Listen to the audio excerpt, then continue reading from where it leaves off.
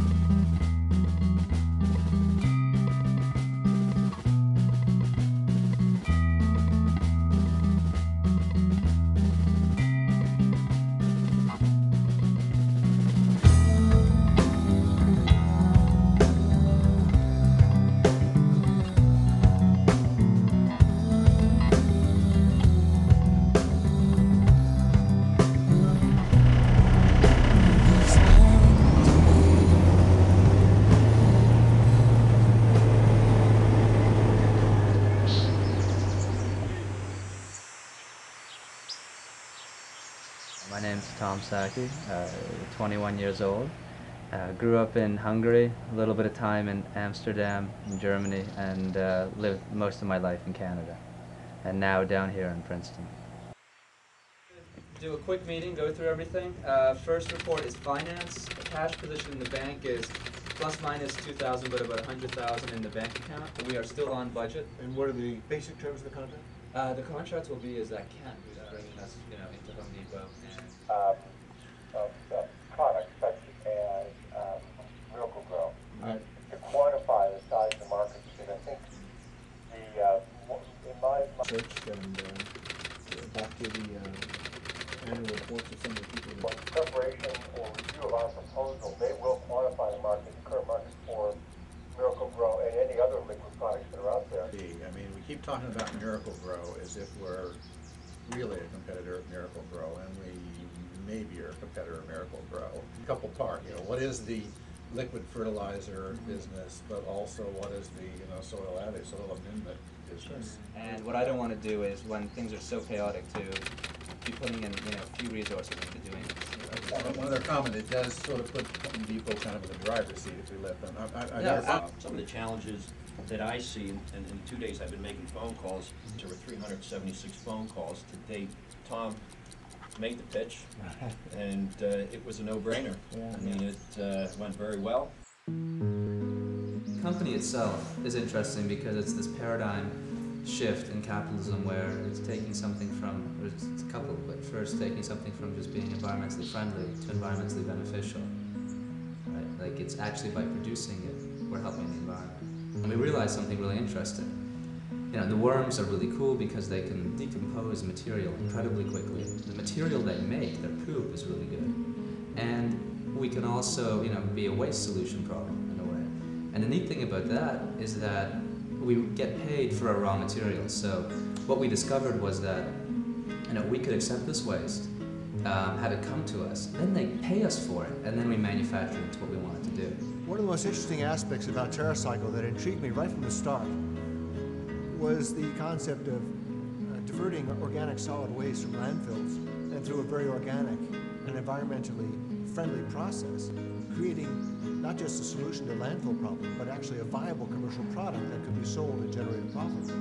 The, the idea of taking our waste material, something that now not only is valueless, but it's a detriment to our environment, and turning it into something that is tremendously valuable and enhances our environment, uh, just doesn't get any better than that. The garbage, the garbage, the garbage, the garbage starts by coming into our factory.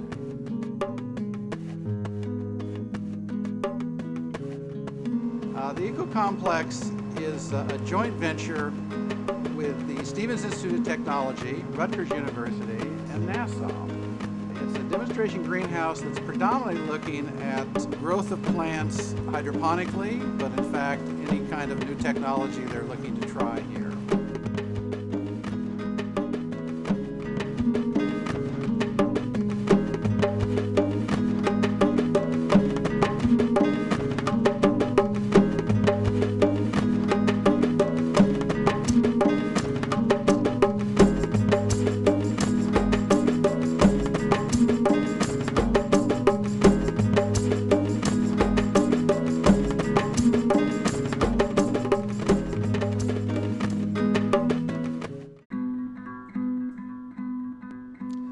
We are at the beginning of the TerraCycle process, where on this conveyor belt we're going to take the input garbage that we're getting from more than one source, mixing those into the rotary composter here, where we were attempting to get up to 50 degrees centigrade for over three days.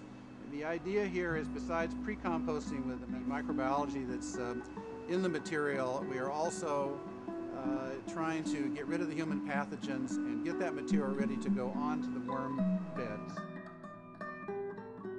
Now, the next part of the TerraCycle process is we come out of the rotary composter, we again take this up on another conveyor belt and onto the worm beds that you can see behind. These are basically six by six parallel plates.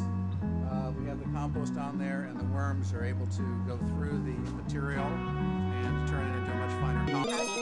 Typically use the species Eisenia fetida, commonly called the redworm, in vermicomposting systems. But we like this particular species because it's adapted to virtually every landmass of the planet and it has the widest range of tolerances and acceptable environmental conditions. After we do that, we bring it over and we run it through this uh, rotary screen here where we separate the particles. So after the, the good product is actually sifted through, on the left side here you see larger material that's really waste. It could be rocks or just undigested material. And on this side, by the way the machine works, we get most of our worms out, we reclaim them, and we actually put them right back up on the gin and let them do some more work for us. Up to this point, we've talked about the TerraCycle solid product. The final step is to take the solid product and to add that to water and get the TerraCycle liquid product. And we would do that in a vessel like we have right back here, about a 500 gallon vessel. It's very similar to a tea brewing process.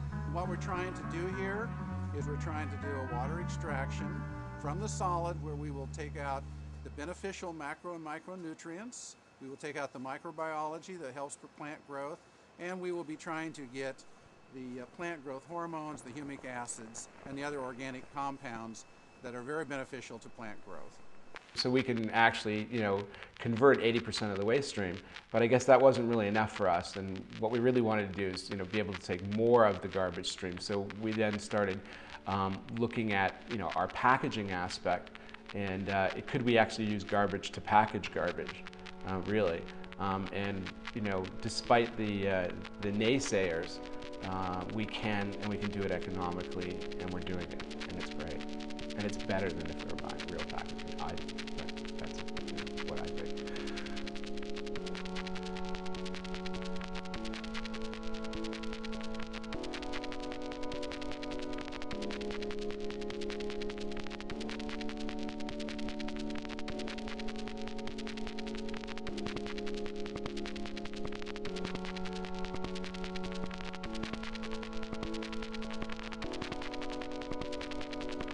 We also um, have developed around this bottling idea a whole education program where we actually go into schools and talk about recycling, and the, the kids have an opportunity to learn about recycling and then participate, uh, like do recycling, and how they do that is by bringing in um, plastic bottles from their home and then we will actually pay the school some money for those bottles. The great benefit of this is that they can now have a school-wide fundraiser that actually is an, what we call an educational fundraiser because the kids get an opportunity to, like we said, learn about um, recycling, do recycling, and then we actually, um, you know, pay the school for every bottle that's collected so the school actually makes money.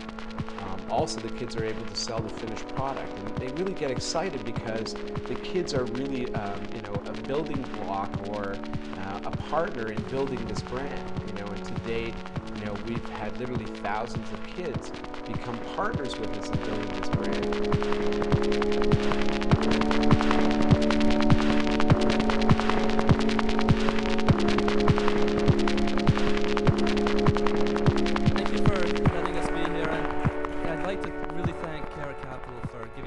Opportunity. We've been at it for about two years, and it's just something that uh, you know came around, and we're extremely excited to be here. And thanks for uh, uh, having us on the Nasdaq, and we hope to be here very soon again.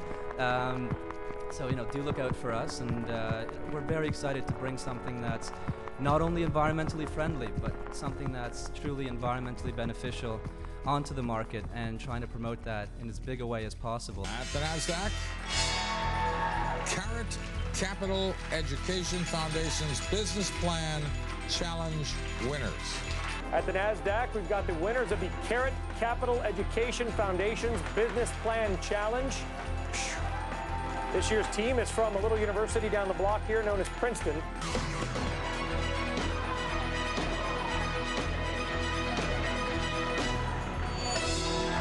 And there we go, kicking off trading this Tuesday morning.